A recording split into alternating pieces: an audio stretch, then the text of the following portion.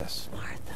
I mean, that's one way to see mom, right? Yeah. Carla Gugino, good morning. Good morning. But you know that you play the super cool spy mom. I mean, whose whose uh, makeup mirror turns into a computer that connects her to Right. OSS spy headquarters. And and you and the first movie was such a success. What made you want to play Ingrid a second time? Well, I think in this case, Robert Rodriguez is sort of the man behind all of this, and he's really an incredible guy. Uh, and the first one was so much fun, and it was, uh, and just seemed sort of like a very natural progression to go and do the second one with the same group that I love, and. And the first time when I watched the first one, actually, I thought also, this is something that seems to be, when I watched it, I thought, how unusual to be able to go and watch a movie with your kids or your friends' kids or whatever, and really enjoy it as an adult as well. So, so for me, it seems sort of like its own brand of film, sort of taking the genre in a new direction. So. And and playing Antonio Banderas' wife probably Is- didn't hurt. No, either? it's it's a pretty good deal. what is it like to work with him? He's amazing. We we work together. Oh, There you are. there we are. Look at us. He's a he's um, a very smart actor. He is a very smart actor. He's a very generous actor. Um, we worked together for the first time on a movie called Miami Rhapsody in Miami about seven years ago, so we knew each other.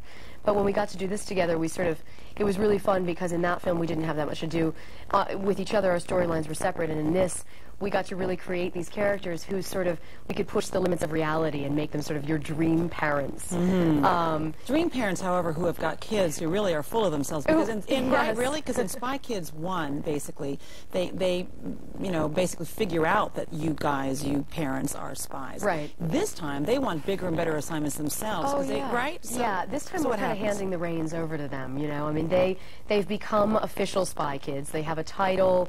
You know, there's certain circumstances where you might need kids to be undercover. They're more easily undercover than adults.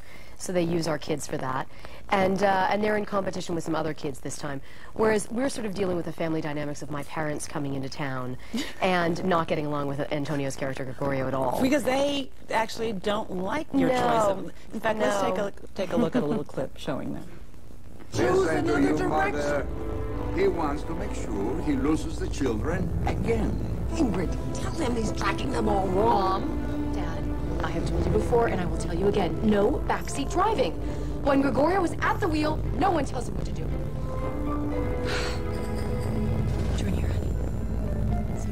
That's Antonio Montalban and Holland. Ricardo was one. Of Ricardo. I'm sorry, I'm Yeah. sorry, I'm thinking Yeah. Banderas. I know they're Ricardo very. They, they have a similarity. And Holland, they do actually. no, they- kind of a sexiness, yes. kind of a, a groove, right? Robert wanted it to be that I had married a Latin like my mother did. Ah, there you go. Yeah. And but yet your mother, your mother's character, Yes. isn't happy with your choice. Why could you? What, what would be the problem? Well, I mean, I know, right? Really, uh, I think that they, they, uh, that you know, no one is good enough for their daughter. I think it's one of those things classic. where, yeah, where ultimately they, they will, they will discover who he really is, and I'm determined to make that happen. Not to give too much away, in the last movie, the basically the kids rescue the parents, Right. And there's a bit of a reverse thing happening. Yes, no, we can, I think, safely say that we go to rescue them this time.